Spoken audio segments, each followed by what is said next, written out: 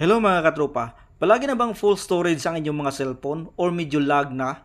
So sa video na ito mga katropa ay makakatulong sa inyo para mabawasan ang lag ng inyong mga cellphone at para madagdagan ang storage ng inyong mga cellphone. So unang-una natin gagawin mga katropa ay open natin ang settings ng ating mga cellphone. So dito scroll down lang natin, hanapin natin ang apps or apps management. So kung merong search bar dito sa taas mga katropa ay i-search nyo lang ang apps management. So kapag nakita nyo na ang apps or apps management, click nyo lang. So ganito ang inyong makikita mga katropa, apps management, click lang natin. At dito natin makikita ang lahat ng mga application sa ating cellphone. Mga built-in application or mga dinownload natin ng mga application. Okay, so unang-una nating hanapin ito mga katropa ay ang Facebook. So i-click mo lang itong Facebook mga katropa. So dito natin makikita mga katropa ang storage usage ng ating Facebook. So kumakain na siya ng lagpas 1 GB. So i-click lang natin itong storage usage. Pag-click natin mga katropa, dito natin makikita ang nako-consume na mga MB or gigabytes ng ating Facebook. Okay. So kung makikita natin dito sa cache mga katropa, ay 276 MB na ang kaniyang na-consume. So wag natin galawin itong clear data. Dito tayo sa cache mga katropa.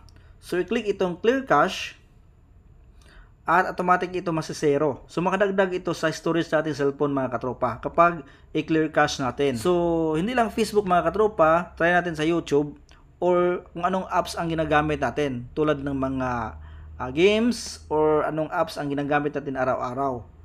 Facebook, YouTube, Chrome, or mga games. Okay? So mga katropa, click natin ang YouTube at click itong storage usage.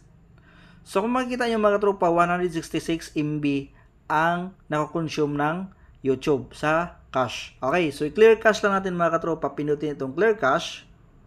So automatic na ito masasero mga katropa at madagdagan na ang storage sa ating cellphone. So ganyan lang gawin yung mga katropa sa lahat ng mga application na ginagamit natin araw-araw. So i-clear cache lang natin mga katropa ay hindi po mapiktuhan ang lahat ng ating mga application, hindi mapiktuhan ang ating pag-login. So wala po mangyayari sa ating mga application. Okay? So, mababawasan lang ang nakukonsume niyang mga MB at madagdagan ang ating storage. Pangalawang option natin mga katropa ay punta tayo sa Play Store at i-click natin ang ating profile dito sa Play Store. Click itong Manage Apps and Device at i-click itong Manage. Click itong Install. Itong mga application nito mga katropa, ito ang naka-install sa ating cellphone. Okay. So, i-click itong install mga katropa at i-click itong not install.